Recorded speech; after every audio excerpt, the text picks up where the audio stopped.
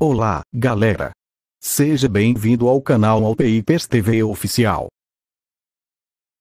No vídeo de hoje respondo: será que o Xiaomi Redmi 10 tem suporte para a tecnologia do leitor de impressão digital?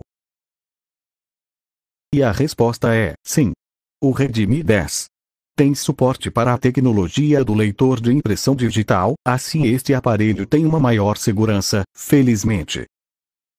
Antes de acabar esse vídeo, assista aos outros vídeos do canal. Temos várias playlists de smartphone para tirar as suas dúvidas. Descubra o que você precisa saber, de forma rápida e sem enrolação.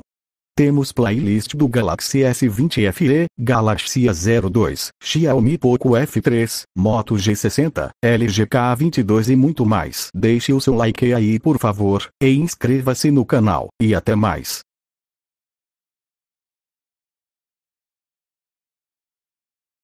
Se você chegou até aqui, vê os outros vídeos aí, ou comenta qualquer coisa.